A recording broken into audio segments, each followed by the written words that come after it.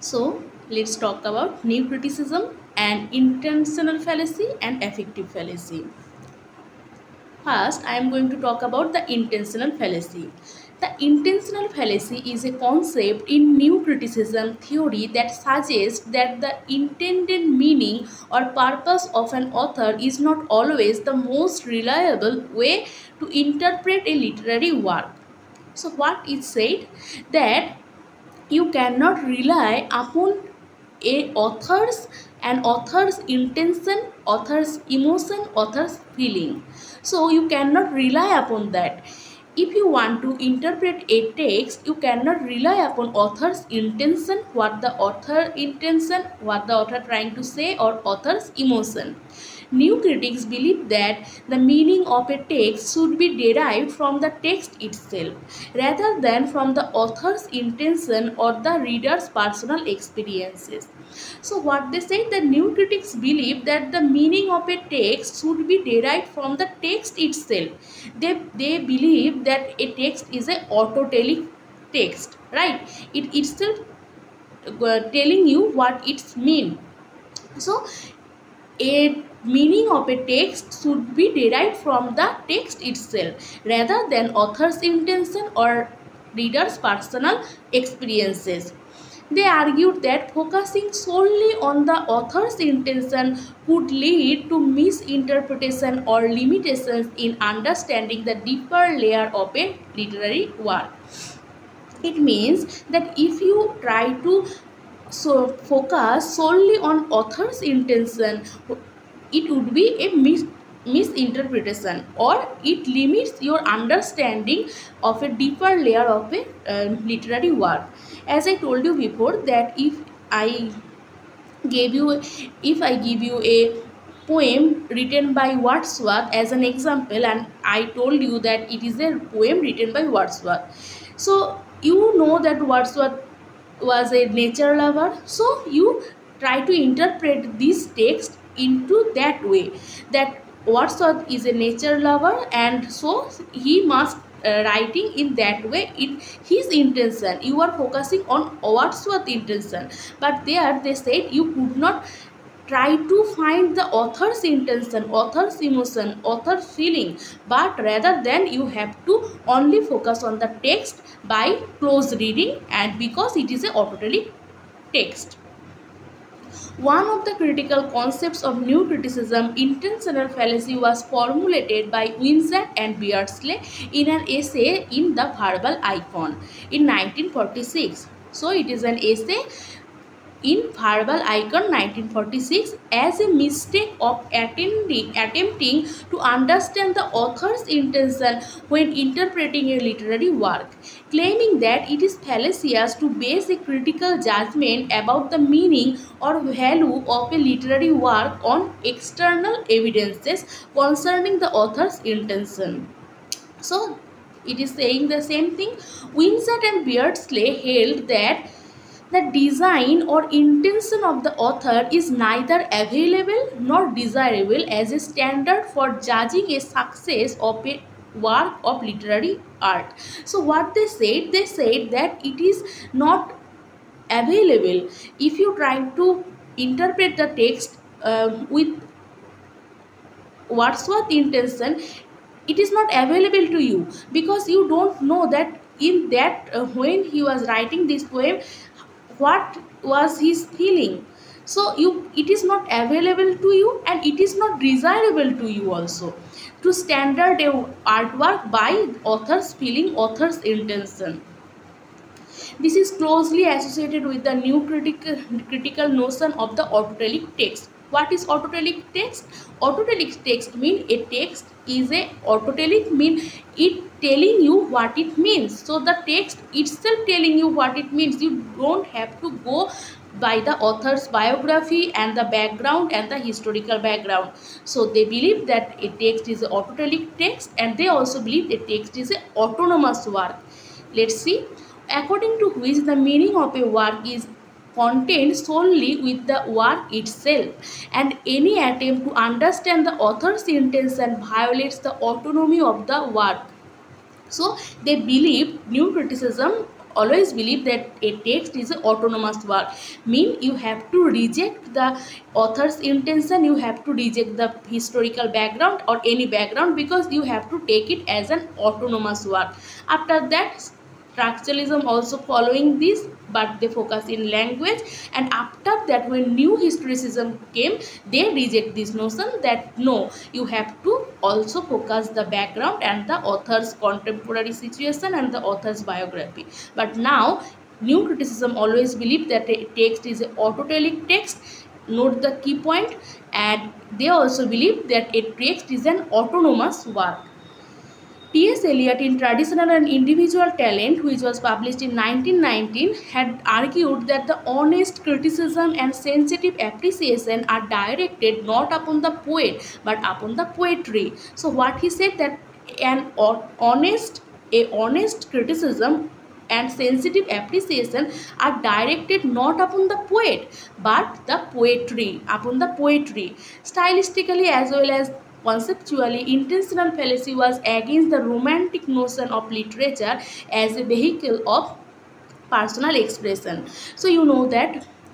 in uh, lyrical ballad, Wordsworth said that a poet poem is a spontaneous overflow of powerful feeling means a ordinary man's spontaneous overflow of feeling was a poem but in traditional and individual talent you know that T.S. Eliot completely rejected it and he said that it is not a spontaneous overflow of powerful feeling.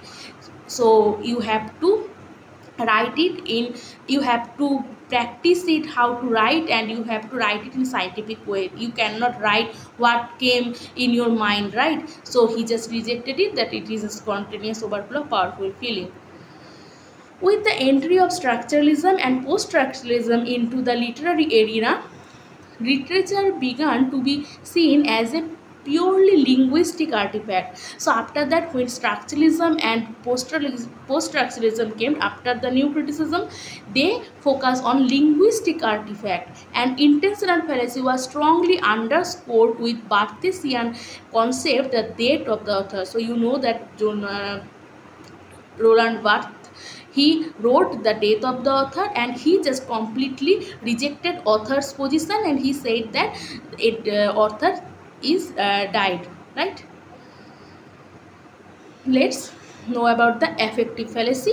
The affective fallacy is an another is another concept put forth by W.K. Wimsatt and Monroe C. Beardsley in their essay Effective Fallacy. So in intentional fallacy essay they talk about intentional fallacy and in effective fallacy essay they talked about affective fallacy. So affective fallacy which was also published in 1949 so it was republished in 1949 and you have to know that affective fallacy came first and after that intentional fallacy came.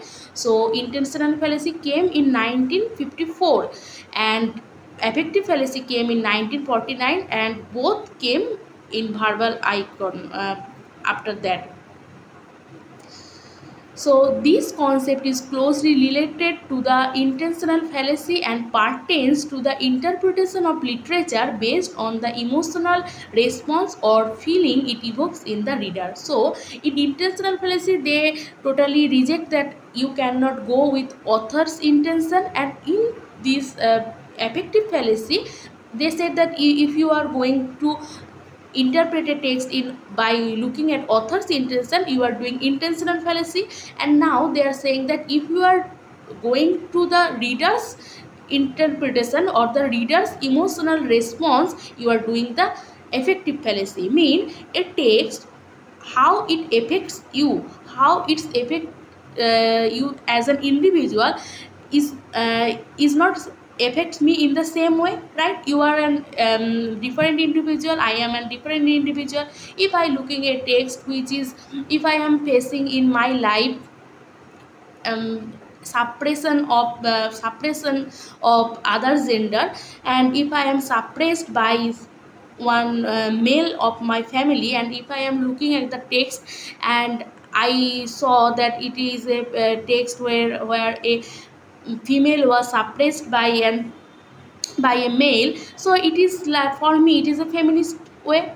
But if a girl who is totally happy in his in her life he is not uh, seeing this text in same way. So you cannot judge the text by looking only my response my feedback. If you are looking only my feedback my feedback cannot the um, the surety my feedback cannot give you the surety that it is the final interpretation of the text so Wimsatt and Beardsley argued that relying solely on a reader's emotional reaction to a text would lead to a misinterpretation of its meaning.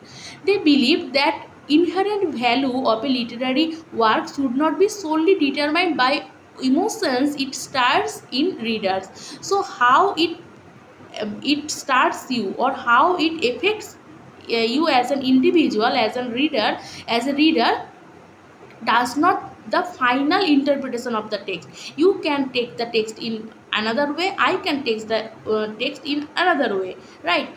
Instead they advocated for focusing on the objective analysis of the text itself detached from personal emotional responses in order to arrive at a more accurate understanding of its meaning and significance. So what they said that it detaches the personal emotional responses. It, it cannot the one individual's personal emotional response you cannot go with it in order to arrive the final meaning or the accurate meaning of the text. So this is intentional fallacy and this is affective fallacy. I hope you understand.